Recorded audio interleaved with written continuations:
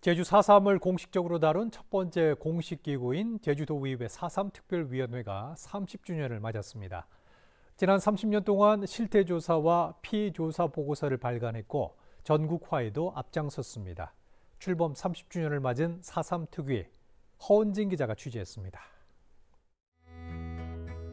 지난 1994년 4.3 합동 위령제 모습입니다. 과거 지역과 단체별로 봉행되던 4.3 위령제를 당시 제주도의회 4.3 특별위원회가 통합해 진행한 첫 합동 위령제입니다. 화해와 상생의 위상을 정립해온 제주도의회 4.3 특별위원회가 올해로 30주년을 맞았습니다.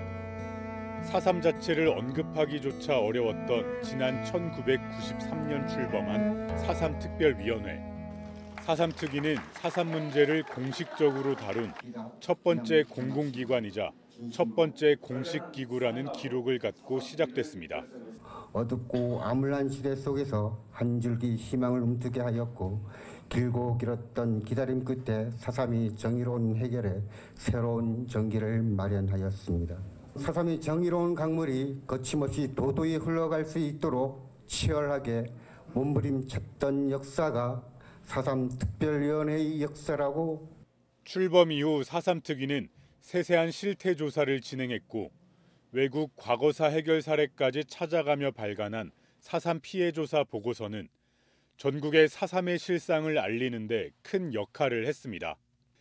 30년의 역사 동안 과거 4.3 특위 의원들은 전국 순례 등을 통해 4.3 전국화의 초석을 다졌습니다. 특별법이 제정되고 진상규명과 대통령의 사과, 희생자 명예회복, 그리고 보상에 이르기까지 수많은 노력과 시간이 필요했습니다.